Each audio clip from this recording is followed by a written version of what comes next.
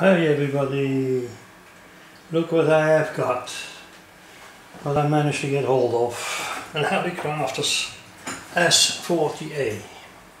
Isn't that beautiful?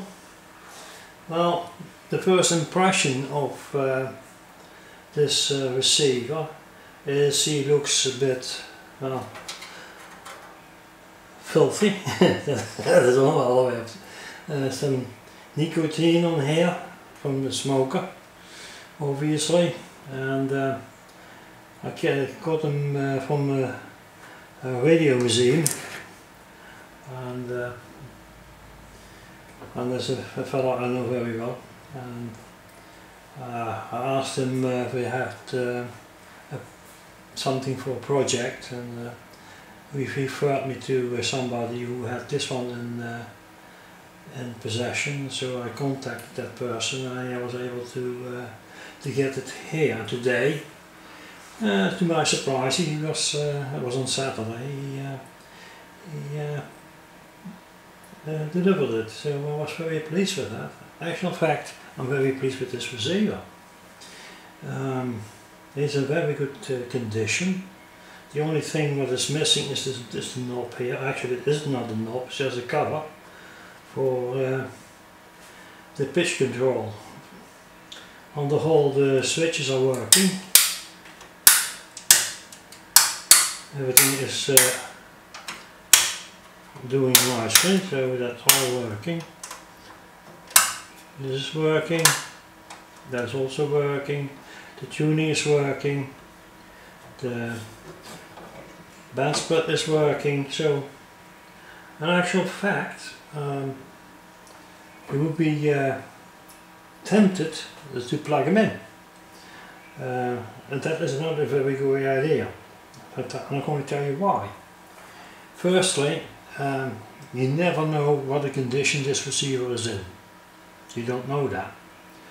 And to, to prove my point, I'll show you something. I've cut off uh, the, the lead, but you can see is all brittle. You see, so that's one reason why you shouldn't uh, uh, put in a receiver like that and, uh, and um, you probably uh, blow something up.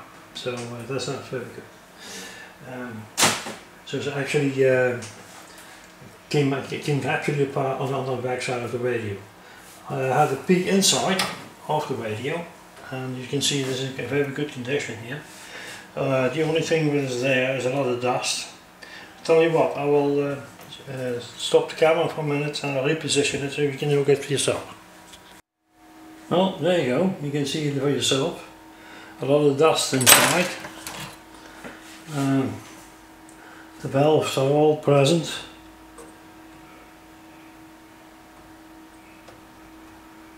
They're all there and they're all way down here. There's a lot of dust inside so the vacuum cleaner will do the trick here. I think that will be. Uh, next thing I will do is uh, get them out of its case and see what the score is underneath. Um, I suspect and I hope that it's not been worked on so that will be then it will be a lot easier to uh, to uh, get this uh, little baby uh, running again so we have the transformer here what I did already is measure the primary with the switch on. But that was not a very very good great success. I don't know why so I'll leave that in the middle. And see you see this is this capacitor. This this uh, electrolytic capacitor. I think he has to go. That's that's the first thing we have to do. This one has to go.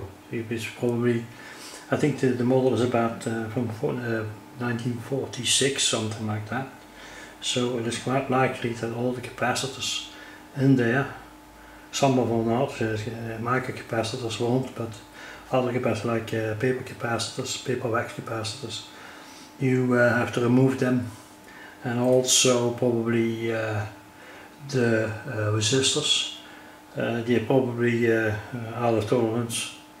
And then we have of course to check the valves. I have a valve tester here, I will do that.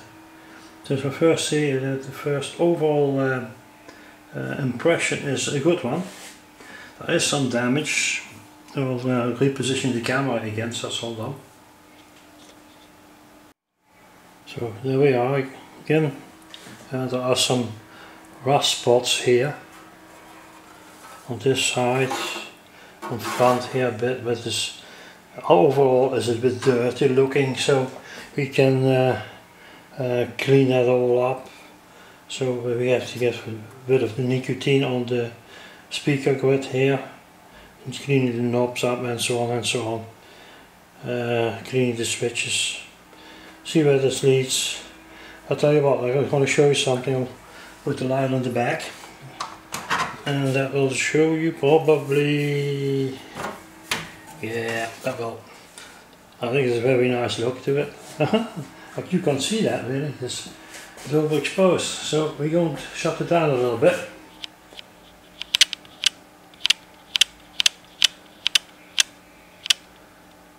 there you go where do we have the impression of the front look from from the scale see if we can improve on that yeah, there you go. Have a look at that. That looks that looks nice, doesn't it? So uh, that's the first impression you get from the receiver. It looks uh, that looks marvelous, really. So I should will get that light off, because and then it gets dark again, so I have to put it back again. There you go. And now it's dark again. So we uh, lighten that up a bit. that will be it.